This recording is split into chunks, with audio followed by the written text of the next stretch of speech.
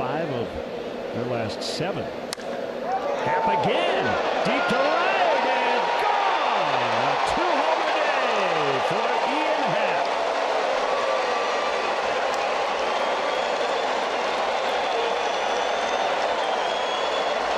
Wow, that was a bullet. Went down and got it. Just needs to hit on the left next time. Uh, straightaway center the first time. The yanks just wanted into the in right.